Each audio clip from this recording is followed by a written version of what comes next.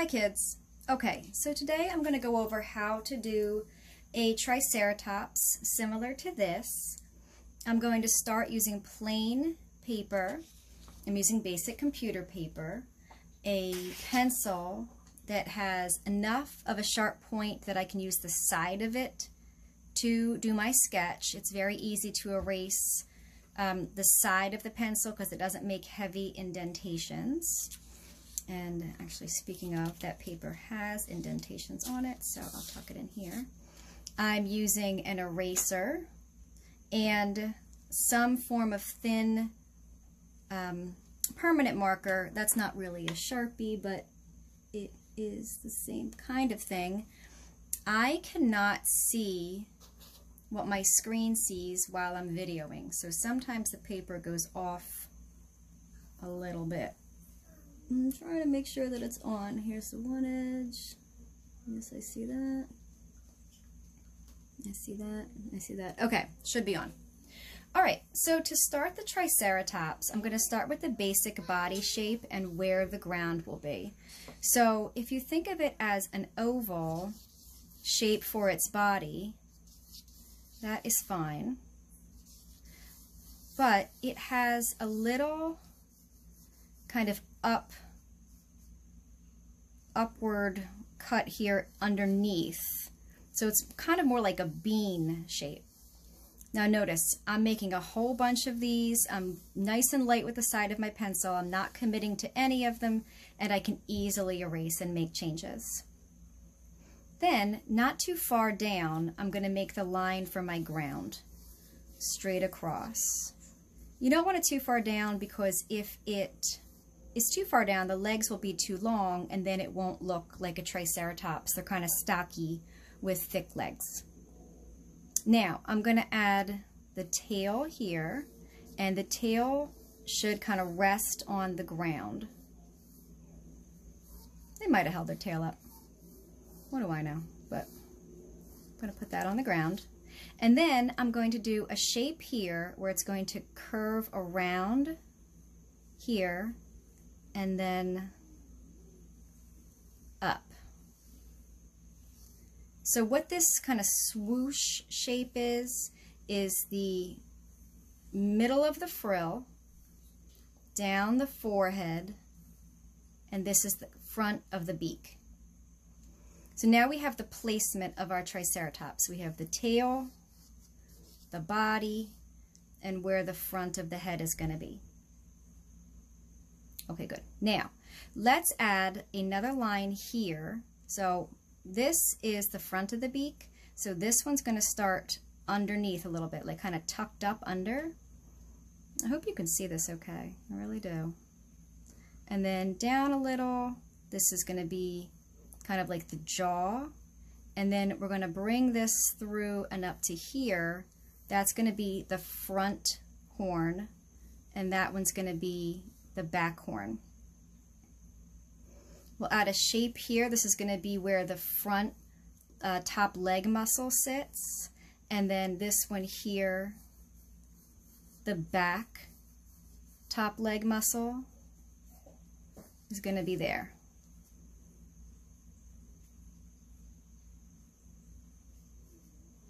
Okay, now let's develop the frill and the horns a little bit. We know it has a horn here on its nose. This one faces the other way. So these two kind of face forward and down. This one faces forward and up.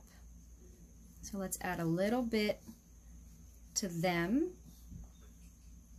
And then we'll just kind of make a shape here to sort of represent where the rest of the frill is going to go. The eye is going to go in here.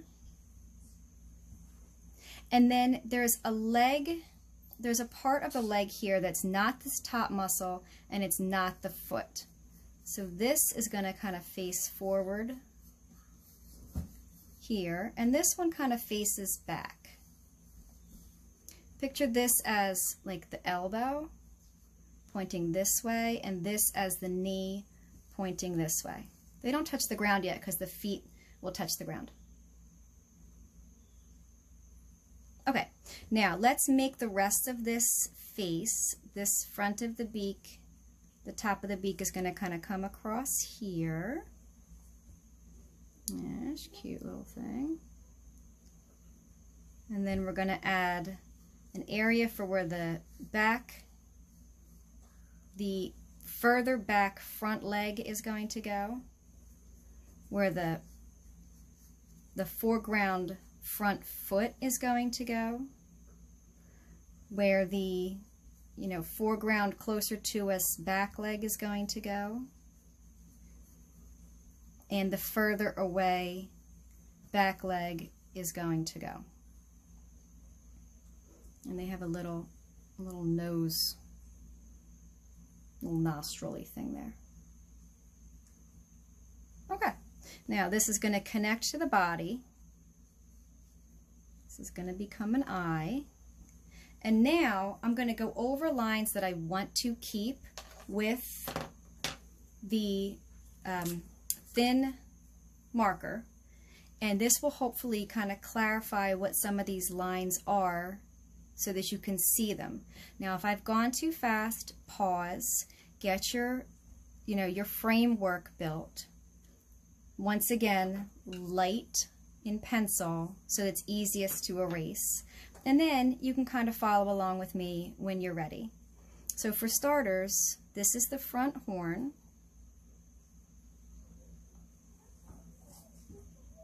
Now is when I can kind of make my final choices about my lines, their length, their direction, right? If I'm adding any details to them.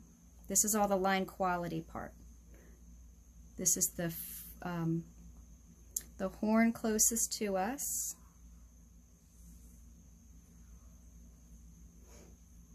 And so because this is the closest to us and this one's further away, this forehead is going to touch this one, but go right through that one because it's further away. So now we have this one back here.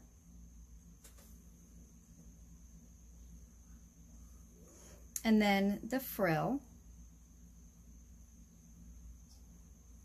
And the line around the edge of this, as I'm sure everybody knows, is wavy.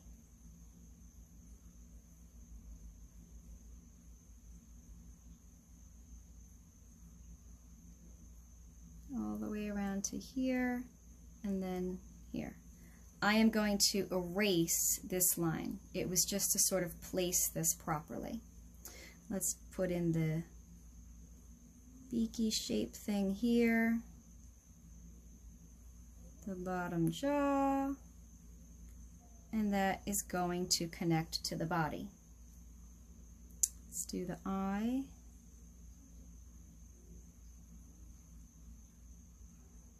I don't think we really know what these eyes looked like. I'm not sure if we know that or not. And the little nose hole. If it looks like I gave it lashes, I apologize. I didn't. I just tried to give it um, edges. Okay, now let's put the back line in down to the tail. So we're going to come from here. Now is my chance. I'm going to lift this line up a little bit. I think the back would be more up here. So I'm going to pull this up here, bring it across here, and then down into the tail.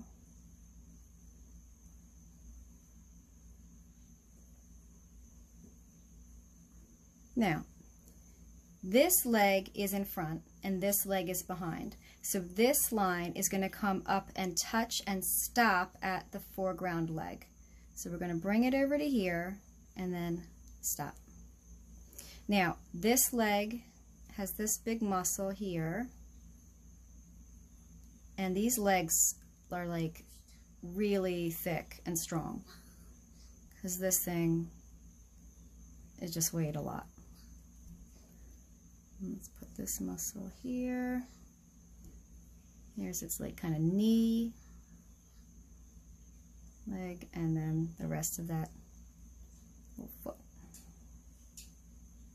This has to touch here, so now that I know where that is, I can make that there, and now this back leg can be put behind it.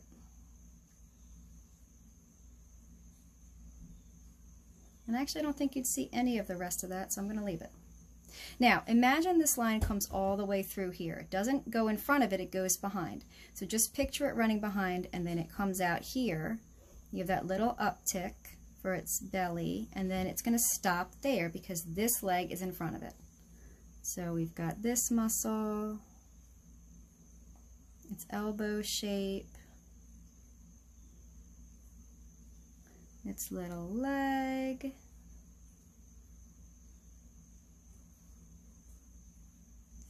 in my mind, these things are really cute, and I realize that in reality, they probably were.